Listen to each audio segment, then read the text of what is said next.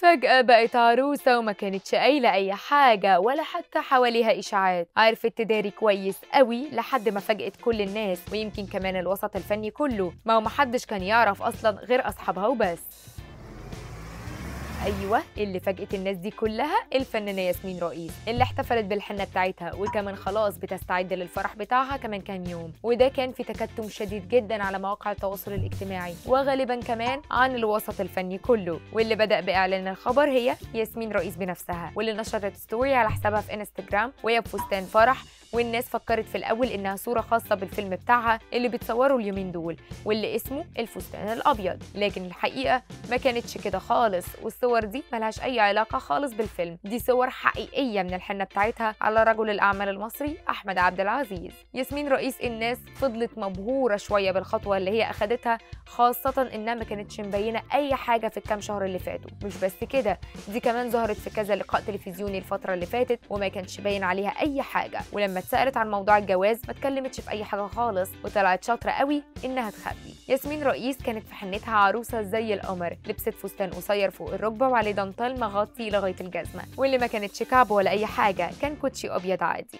أما الفستان ما كانش فيه أي حاجة over وياسمين عملت اللي أي بنت عادية بتعمله. ومش ده بس اللي كان عادي وكانت شبه أي بنت فيه. لا ده كمان كانت الحنة كلها فيها صور ليها متعلقة في كل البيت. وطلعت بقى ياسمين رئيس بالموضوع ده ماشية زي موضة كل البنات. ما فرقتش بين إنها ممثلة وإنها بنت عادية. الجواز طلع مش بيفرق بين طريقة فرحة البنات ايا كانت شغلانتها إيه. طبعا بقى أصحابها ما سابوهاش خالص وكانت أول الموجودين دينا الشربيني صاحبة عمرها اللي ما سابتهاش لحظة وكان باين عليها قد إيه هي مبسوطة ليها. وإنها بقت عروسة من تاني. ده غير طبعا زغروطتها اللي لفت ال social media كلها واللي بينت قد إيه دينا الشربيني بتحب ياسمين رئيس.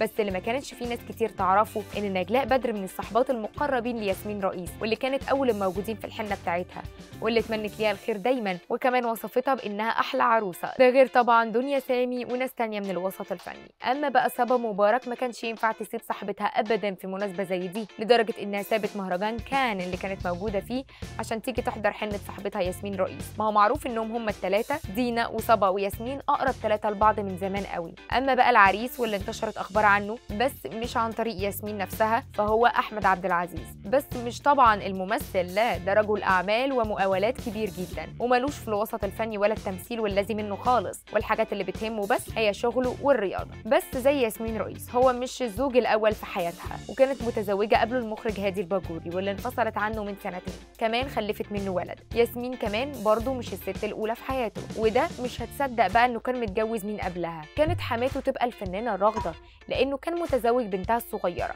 أما بقى شغله جنب المقاولات فهو شغال في إعادة تدوير النفايات واستخراج المعادن الصعبة. يعني ياسمين وقعت واقفة. أما بقى جنب الرياضة فبيحب الصيد جدا ومهووس بسباق العربيات واللي بيشارك فيها بنفسه. وبكده بقى هنشوف ياسمين رئيس عروسة خلال الأيام اللي جاية. وهنشوفها هي وصحابها هيعملوا إيه في الفرح ومين بالظبط اللي هيحضر من الوسط الفني. وربنا يتمم لها على خير.